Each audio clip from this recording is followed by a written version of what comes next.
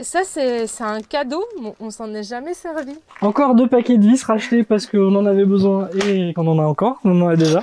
Là, c'est tous les CD, par exemple, euh, bah, dont on n'a plus l'utilité. Ça, Euh, ça a je- jamais servi. hein.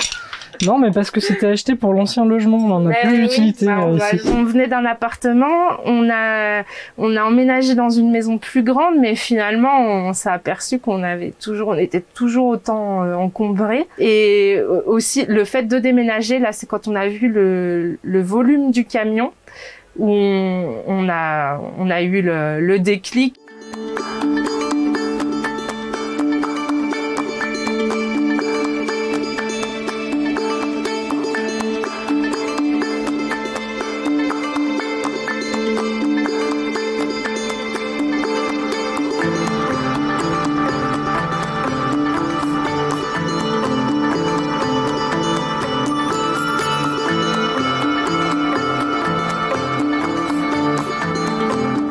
Aujourd'hui, euh, c'est la troisième journée. C'est notre journée désencombrement. Je vais euh, voir avec vous eh bien, euh, où vous allez euh, euh, mettre les objets que vous avez mis de côté. Puis si vous avez euh, un petit peu des, choses sur lesquelles vous hésitez, eh bien, on, va en parler ensemble et puis on va essayer de trouver des solutions. Cette campagne de l'ADEME euh, a été divisée en, plusieurs journées.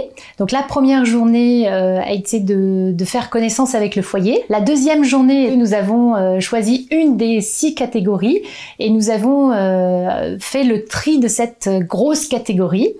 La troisième journée est sur le désencombrement et puis la quatrième journée sera sur euh, en fait euh, la consommation euh, plus raisonnable, comment ils vont consommer par la suite. Et on, espère qu'ils vont consommer différemment et puis justement par rapport à, l'obsolescence des, appareils et autres qui vont avoir une réflexion plus, plus longue pour, pour l'achat d'un bien ou d'un objet.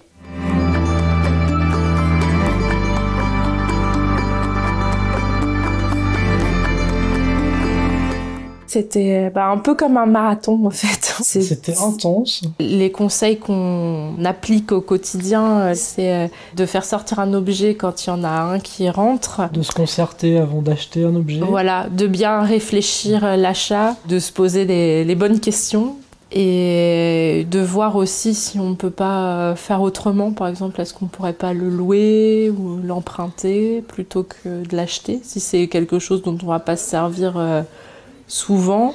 Et on fait attention à l'indice de, répa- de réparabilité, on fait attention à, à l'origine, on essaye, euh, on essaye de tout voir si on peut trouver d'occasion. On se rend compte voilà qu'il y a d'autres modes de vie aussi et que finalement si tout le monde vivait comme ça, peut-être qu'on vivrait tous un peu mieux aussi.